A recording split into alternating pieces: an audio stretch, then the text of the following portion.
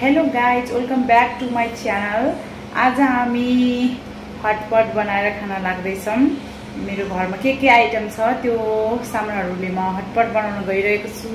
म हजुरहरूलाई मेरो हटपट बनाउने सामानहरू देखाउँछु है त। यता मेरो हटपट बनाउने सामानहरू छ। यहाँ चाहिँ मोमो मोमो छैन अनि ससेज पनि छैन। अनि पोर्कको मिट पनि छैन। यहाँ चाहिँ चिकनको मिट छ मैले स्लाइस जस्तो बनाएको अनि यो चाहिँ नुडल्सहरू छ। यो करेन्ट चाउचहरू चाहिँ यो नुडल्स चाहिँ मेरो साथीले नेपालबाट पठाइदिनु भएको थियो। अब भ्याउन लगाएको छ यति मात्रै छ। त्यही भएर छिटो छिटो हटपट बनाएर खानु पऱ्यो भनेर म बनाउन लाग्दैछु। म अब हजुरहरूलाई देखाउँछु है म कसरी बनाउँछु। यो हटपट चाहिँ मैले फर्स्ट टाइम बनाउनु लगाएको अनि कस्तो हुँदो रहेछ? अब एकछिनमा देखाउँछु ल हजुरहरूलाई। मलाई चाहिँ एकदम कोरियन रेस्टुरेन्टमा गएर कोरियन फुड खान एकदम मन लाग्छ। अहिलेसम्म गएको छैन कोरियन रेस्टुरेन्ट। अब यो चाहिँ चाइनिज डिसको यो के अरे लाग्छ मलाई चाहिँ मलाई तर सबैले बनाएको देख्दा चाहिँ एकदम बनाउनु मन लाग्यो।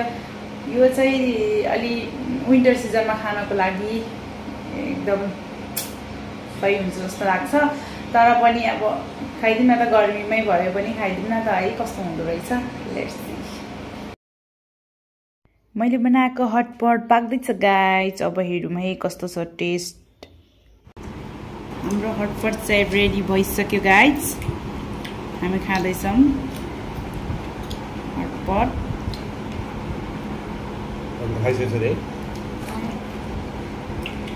मेरो बुढो ढिलो आउनु भयो नि त गाइज त्यही भएर एघार बज्न लागिसक्यो।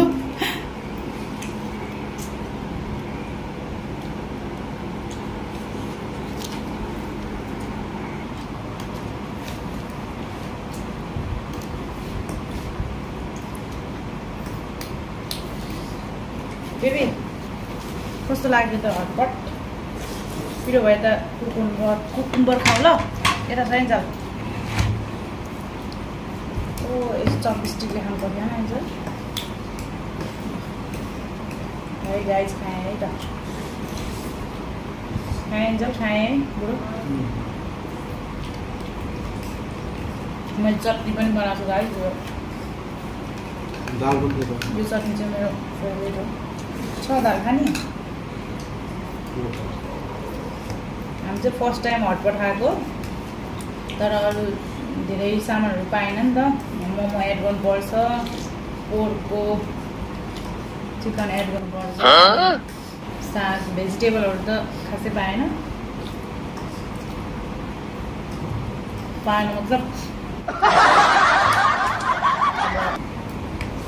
अनि पाएन भन्नाले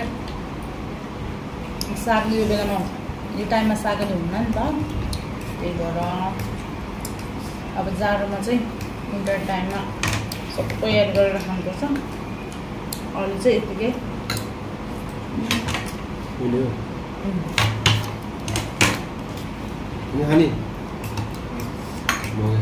मेरो बुढोलाई चाहिँ सुरुमा के बनाएर यस्तो? भन्थ्यो अरे। अहिले चाहिँ मिठो लाग्यो मिठो लागेको छ फेरि थप्दैछ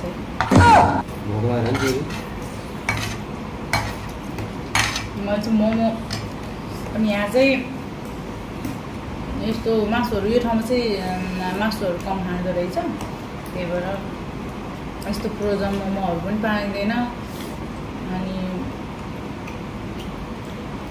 घरमा बनाउन चाहिँ अब जानु भएन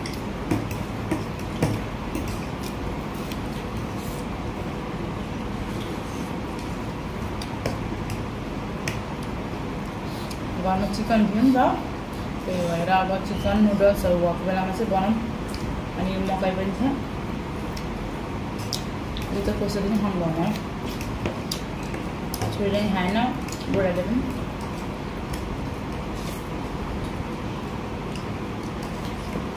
मेरो बुढो र छोरीले चाहिँ एकदम गर्मी भएर गाई खप्नै लाग्यो एकदम कस्तो लाग्यो बाबु हटपट कस्तो लाग्यो मिठो लाग्यो। अब अर्कोचोटि नेक्स्ट टाइम चाहिँ मोमो ससेस अनि साग अनि पोर्कको मिट। याद गरेर खाने ल। हस्।